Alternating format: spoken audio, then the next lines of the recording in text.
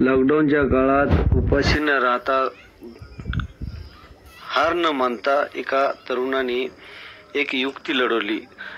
वसमत तालुक्यातील लक्ष्मण माने राहणार म्हातारगाव तालुका वसमत येथील रहिवासी असलेला हा तरुणाने शिक्षण बी एस सी झालेला. ह्या तरुणाची पुणे या ठिकाणी छोटीशी कंपनी होती.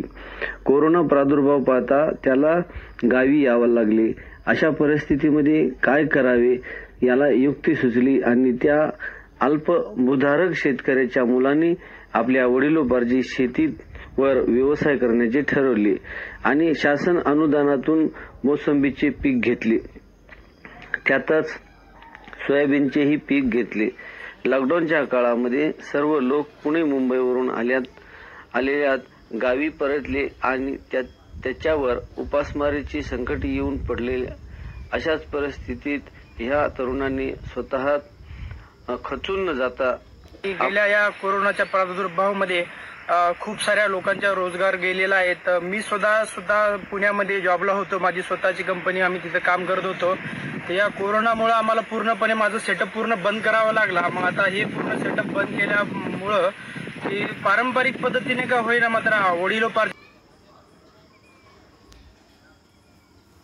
आपल्या गावाकडे माझी जमीन आहे त्या जमिनीमध्ये आम्ही सध्याच्याला मोसंबीचं पीक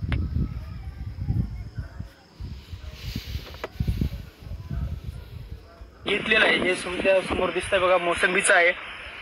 तर ह्या मोसंबीच्या पिकामध्ये सुद्धा आपण एक कशा प्रकारे प्रकारे आधुनिक पद्धतीने अर्थार्जन करू शकतो जेणेकरून चार पैसे आपल्याला मिळतील. आणि जे रोजगार आहेत जे बाहेर गावावरून आता पुणे मुंबई सारख्या शहरातून आपल्या गावात कामं आलेले तर तर त्यांना सुद्धा आपण कशा प्रकारे रोजगार देऊ शकतो? आज आपण त्याच्याविषयीच थोडंसं मार्गदर्शन करणार आहोत. तर आज आपल्या झाडांना हे तीन वर्षात झाडं झाली होते. तर तीन वर्षात झाडाला जे फुटवे फुटले होते आम्ही त्यांना रोजगार लावून हे बघा अशा प्रकारचे हे फुटवे कापून टाकले तर जेणेकरून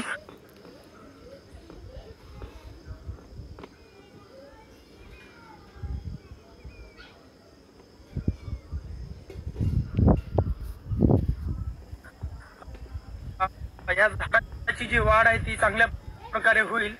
तर नक्कीच अशा या दुष्काळ असेल किंवा अशा रो- महामारीच्या काळामध्ये जे सुशिक्षित बेरोजगार तरुण असतील त्यांनी कुठलंही खचून न जाता एक नवीन पद्धतीनं आपला आहे तो व्यवसाय कसा करता येईल किंवा आपल्याला स्वतःची जमीन नसेल तर कोणाची दुसऱ्याची जमीन आपण एक रेंट भाड्याने घेऊन तिथं सुद्धा आपण चांगला आधुनिक आपल्या शिक्षणाचा वापर करून चांगलं कसं पैसे कमवता येतील चांगलं अर्थार्जन कसा रोजगार निर्मिती कसा करता येईल याविषयी जर थोडंसं आपला अभ्यासाचा जोड लागली तर नक्कीच एक चांगले दिवस आपल्या बळीराजाला येतील जेणेकरून त्याला आत्महत्या किंवा फाशी घेण्याची वेळ येणार नाही. तुम्ही पाहू शकता ही सध्या त्याला आता ही तीन साडेतीन एकरची शेती आहे मोसंबीची.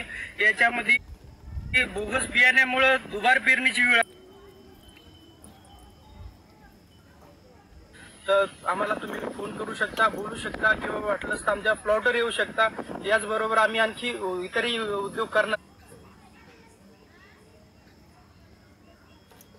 तर आम्हाला तुम्ही फोन करू शकता बोलू शकता किंवा वाटलंच तर आमच्या प्लॉटवर येऊ शकता. याचबरोबर आम्ही आणखी इतरही उद्योग करणार आहे. जसं की इथं बाजूला आमचं काम चालू आहे की इथं आम्ही लॉकडाऊनच्या काळात उपाशी न